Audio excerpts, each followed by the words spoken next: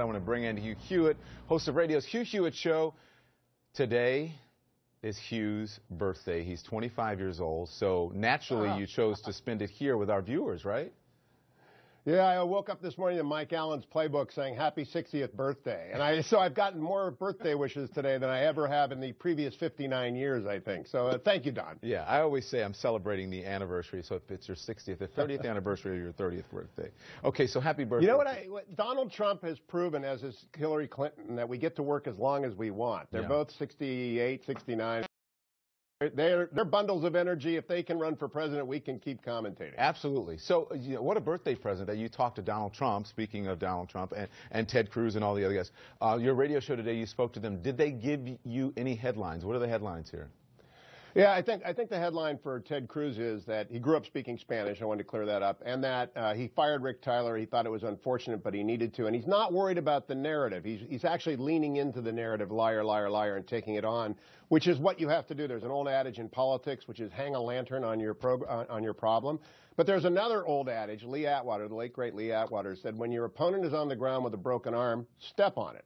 So Donald Trump and Marco Rubio stepped on it today, and they're going to continue to drive this story as far as they can. Also had Ben Carson on today. He forgiven um, Ted Cruz for the Iowa brouhaha and said so. But Donald Trump joined me after Ben was on. He said, look, he brought up the Ben Carson thing, and he went after Ted Cruz really hard, even though it's kind of counterintuitive to me. He wants to keep Cruz alive and dividing the anti-Trump vote, but he might end up breaching the firewall in Hugh, Texas and taking him out. Let's listen to some of Trump uh, from your from your interview. Okay. We've had a lot of problems with him. Uh, he's a person that uh, doesn't like telling the truth, and I just find it hard to believe that some of the things he said. So he plays hardball, but and I like hardball, and I've met a lot tougher people than him. Believe me, many, many, many times tougher. But he has a real hard time with the truth. Hmm. And Ted Cruz, obviously, the, responding the way he did, he's worried, as I said to Sunlen, that this may be sticking. Oh, he's very. You know, you've got to. A narrative like this takes hold, and it got a hold of Nixon early in his career, and he had to fight it for the rest of his career. It doesn't mean you can't beat it, but you would rather be talking about the constitutional issues raised by the Scalia vacancy. Donald Trump told me tonight he will reincarnate. He wants a Scalia reincarnation for his non for the court. Ted Cruz would rather be talking about that than firing his spokesperson and, and giving Marco Rubio an opportunity to go out, as you noted earlier in the broadcast. Rubio had this day where he collected more endorsements and money. Like that, all of the Jeb people seem to have gone to Marco Rubio. A lot of people are leaning on John Kasich to get out. The Ohio governor will not get out until Ohio. I, I've known John Kasich a long time. But I, I do think the big story of the day is that uh, Donald Trump's going to win tomorrow in Nevada. Jon Ralston and others say that. He's going to win big. Your poll confirms that. And then can Ted Cruz keep his firewall in Texas on Super Tuesday? And our debate Thursday night will have a lot to do with that. It's going to be sparky. Oh, is it going to be sparky? Sparky. So you you mentioned John Kasich. He spoke to Wolf Blitzer today about what you said. Listen to this. Are they privately ur- urging you to drop out? No, I haven't. I heard, haven't heard from any of the special interests to get me to drop out. In fact, we're signing people up. Uh, we're signing up some significant uh, Republican fundraisers, and our political organization is expanding as well. We're going to keep going because, you know, when I travel places, people beg me. They say, "You stay in. You represent hope for me and for my family." And I, this is all sort of political mumbo jumbo from pe- people who, you know, I don't even know who they are. And you know, the fact is. Uh, we're just going to keep on going, and at some point, when we get the consolidation, I'm very hopeful, Wolf, it's going to be towards me.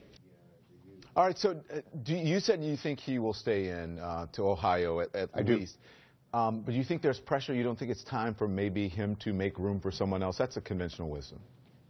You know, uh, there are people in the party who want him out, but he, he did pick up a couple of hedge fund guys today and made some money. But here's here's what John Kasich believes: he is who he is. He got there through hard work and by uh, beating odds. He he won in he won in Congress. I think he was the only Republican to win the year that he won. It might might have been 1982. John Kasich has always been a long and he's tough as nails, and he's happy. He's a happy warrior. So he's not going anywhere, and I, I, I say it every time I come on your show, Don. An open convention is a real possibility unless Donald Trump takes out Ted Cruz in Texas and Marco Rubio in Florida. If he does that, I, I, think he's pretty much unstoppable. But I, I don't see that happening. I'm a fairly traditional guy. I think home state favorite sons win their, their state absent extraordinary circumstances.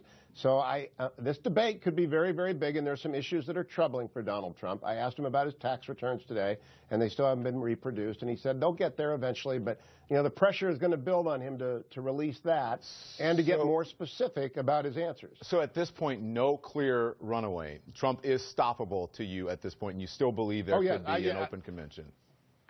yes, I don't think there's any no way uh, in in heck to predict what's going to happen, but the odds makers and the bet takers show Donald Trump with a uh, 50% probability and Marco Rubio with a 40% probability. And they've got Kasich in, in low single di- or high single digits and Ted Cruz a little bit higher than that. That reflects uh, a, a, divided field in which the possibilities are endless. Only Ben Carson doesn't have a path, and I asked him about that today, mm-hmm. and he said his path is to hope that they all break to him, and th- that's kind of a long ball. But Four, four people could be the nominee, and uh, we'll find out more on Thursday night. You want to predict Nevada?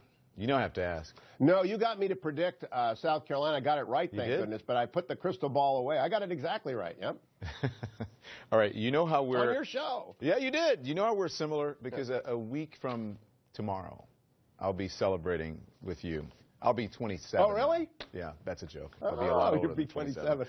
yeah, right. Thank you, Hugh. Happy birthday again. Always good to see Thank you. Thank you, Don. Thank you.